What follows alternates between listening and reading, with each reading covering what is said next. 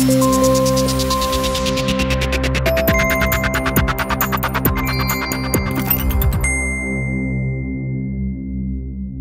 Labour MSP has warned the party is teetering on the edge of irrelevance, as he called for Scottish Labour to have more control over key decisions.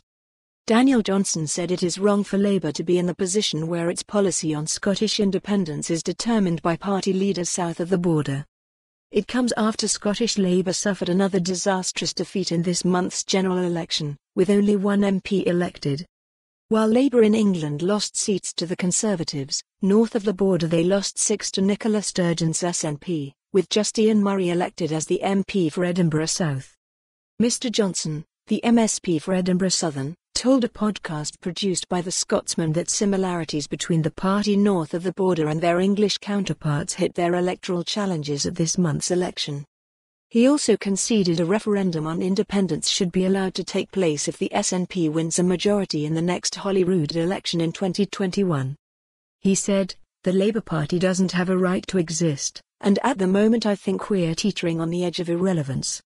The first point of principle, and what I've been saying to colleagues, is that we simply cannot have a situation where in the biggest single issue facing Scottish politics, which is the independence question, that our position on that gets decided by the UK leadership.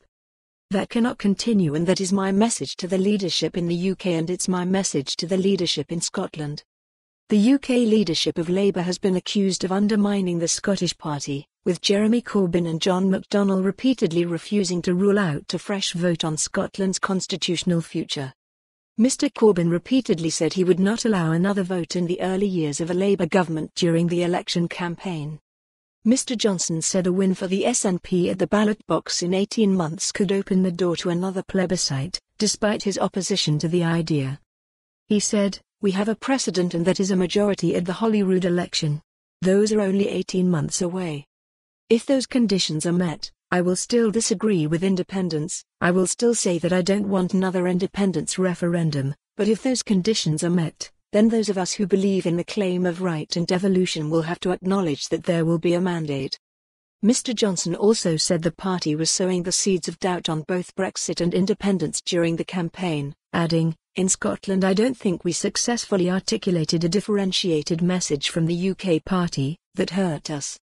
Meanwhile, former Scottish Justice Secretary and newly elected SNP MP for East Lothian Kenny MacAskill said Labour must support Scotland's right to choose. Writing in the Scotsman newspaper, Mr. MacAskill for more on this story, visit the news article link.